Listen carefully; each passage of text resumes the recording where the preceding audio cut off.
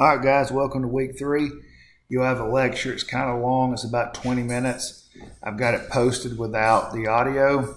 You'll have a graded discussion.